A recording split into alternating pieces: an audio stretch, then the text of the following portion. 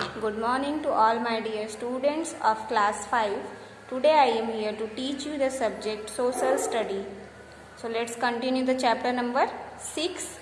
आज हम chapter number six read करेंगे चैप्टर का नाम है Greenland land of ice and snow इस चैप्टर में हम पढ़ेंगे ग्रीनलैंड के लोकेशन और लैंड के बारे में वहाँ के लोगों की भाषा के बारे में लैंग्वेजेस के बारे में क्लाइमेट एंड नेचुरल वेजिटेशन के बारे में, वहाँ का, वहाँ की जलवायु कैसी है, वहाँ पे किस तरह की पैदावार होती है, वनस्पतियों के बारे में ट्रांसपोर्टेशन के बारे में, यातायात के बारे में पॉलिटीज़ के बारे में वाइल्ड लाइफ जंगली जानवरों के बारे में पीपल एंड देयर लाइफ और जो वहाँ के लोग रहते हैं, उनके बारे में और उनके जीवन के बारे में। इस चैप्टर में हम ये सारी चीज़ें पढ़ेंगे। So let's continue the chapter chapter में जो भी डिफ़िकल्ट वर्ड आएँगे, वो मैं आपको एक्सप्लेनेशन के साथ एक्सप्लेन करूँगी. The areas north of the Arctic circle and south of Antarctic circle are known as the polar region तो जो नॉर्थ आर्कटिक सर्कल है और south of the Antarctic circle उसको क्या कहते हैं? All over polar region the tundra region occurs in the north polar region beyond the Arctic Circle. Beyond the tundra region lies the area covered by perpetual snow called the polar ice cap region.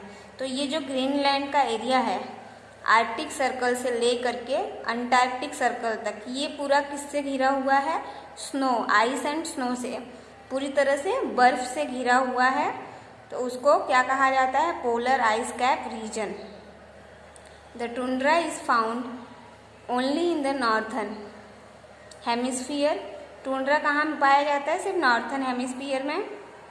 In the southern hemisphere, the entire continent of Antarctica has a permanent ice cap. तो जो entire southern hemisphere का entire continent है, Antarctica का, वो क्या है? Permanent ice cap. Permanent means सबको पता है, जो कभी नहीं हटता।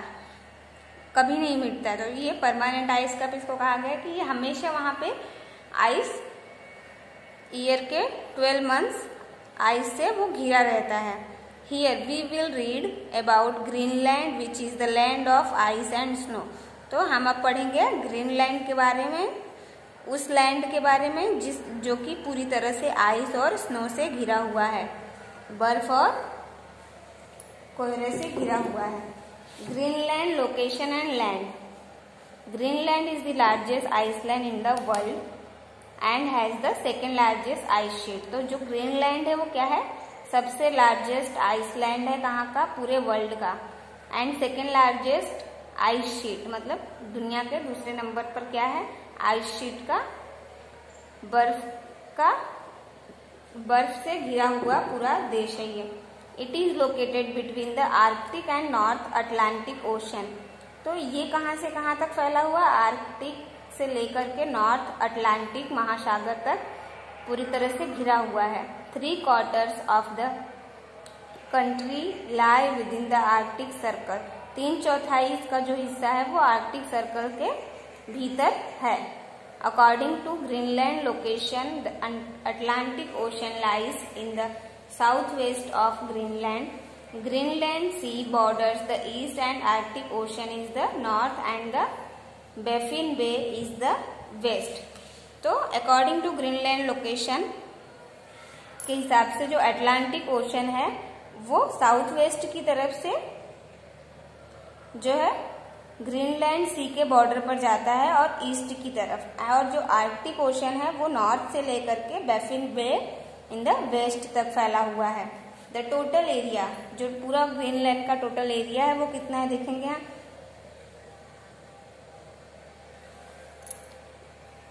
the total area twenty one lakh sixty six thousand eighty five kilometre total area है।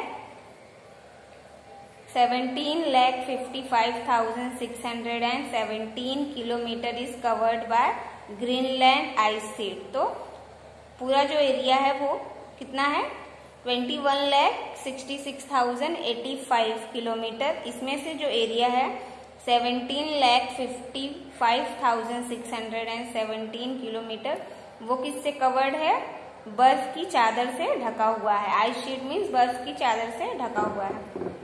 Greenland possesses one twenty of the world ice and one quarter of the earth surface ice तो ये इसकी जो पृथ्वी की सतह है वो जो है बी, उसका बीसवा हिस्सा है बर्फ़ का ये चादर से जो फैला हुआ है। द कोस्ट लाइन लाइस तो यहाँ का जो समुद्र तटीय क्षेत्र है वो कितना है देखेंगे हम? 44,087 किलोमीटर। तो जो रिमेनिंग है 44,087 किलोमीटर ये क्या है? कोस्ट लाइन एरियाज़ है। Greenland primarily consist of mostly flat terrain but gradually sloping ice cap that covers all land except for a narrow तो यहाँ का जो जो समतल भूभाग है, वो जो है धीरे धीरे ढलान ढलान की तरफ़ है। नेक्स्ट पेज पर जाएँगे। Mount mountainous barren rocky coast तो जो यहाँ का कोस्ट कोस्टल एरियाज़ है रिमेनिंग फोर्टी फोर थाउज़ेंड मैंने बताया। वो एरियाज़ में कैसे प्ले, प्लेन्स हैं वहाँ की जो मिट्टी है वो बहुत ही पहाड़ी है और बंजर है चट्टानों से भरी हुई है। All statement all settlements and towns are located along the ice free coast तो यहाँ का जो एरिया है ज़्यादातर बर्फ़ से ढका हुआ है। The population is mainly concentrated along with western coast तो यहाँ की जो ज़्यादातर पॉपुलेशन है, वो कहाँ रहती है? वेस्टर्न कोस्ट की साइड रहती है। Greenland is a part of Denmark Greenland Denmark का पार्ट है। A European country Godthab is its capital तो यहाँ का जो कैपिटल है डेनमार्क का, वो है गोर्थाप जिसको कि एन डब्ल्यू के भी कहते हैं। यहाँ की राजधानी है। The Iceland looks white as about 80 percent of it remains covered with permanent snow and ice तो इस आइसलैंड का जो 80 परसेंट अस्सी परसेंट भाग है 80 प्रतिशत भाग, वो क्या रहता है? रिमेन्स कवर्ड पूरी तरह से ढका हुआ रहता है।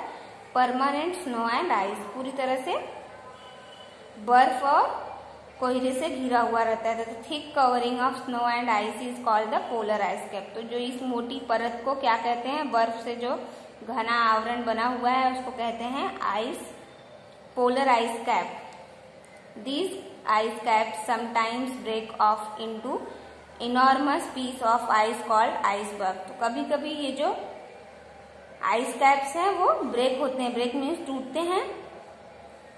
और छोटे छोटे टुकड़ों में, विशाल टुकड़ों में, जिसको क्या बोलते हैं?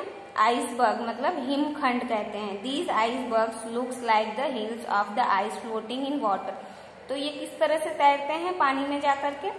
ये आइसबर्ग्स जब टूटते हैं हिमखंड तो ये ऐसे फ्लोट होते हैं जैसे कि कोई चट्टान या पहाड़ पानी में तैर रहा है।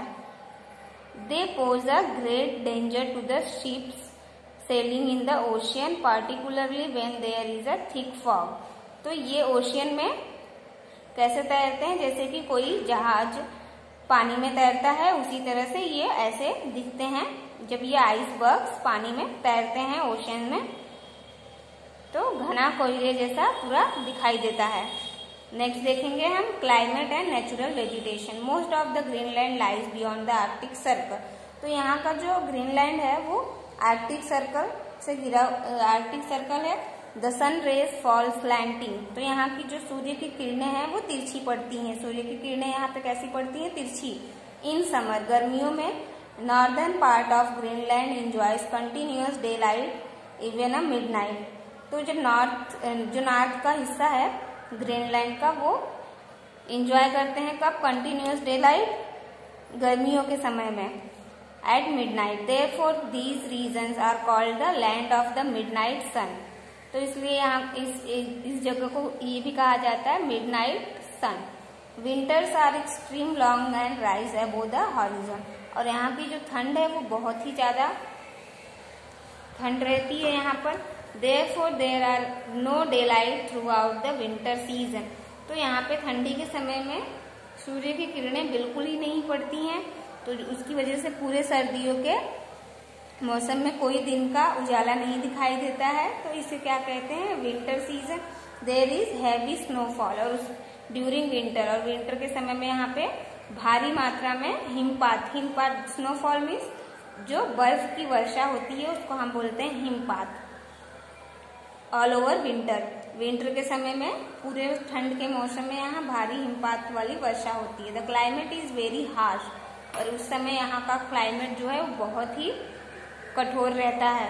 टेम्परेचर रिमेन्स ग्लो जो यहाँ का तापमान है वो ज़ीरो डिग्री सेल्सियस से भी नीचे का रहता है इवन ड्यूरिंग समर्स और गर्मियों में क्या रहता है, देखेंगे most areas remain snow covered बहुत ही ज़्यादा हिस्सा जो है यहाँ का किससे कवर्ड रहता है, ढका रहता है, बर्फ़ से ढका हुआ रहता है।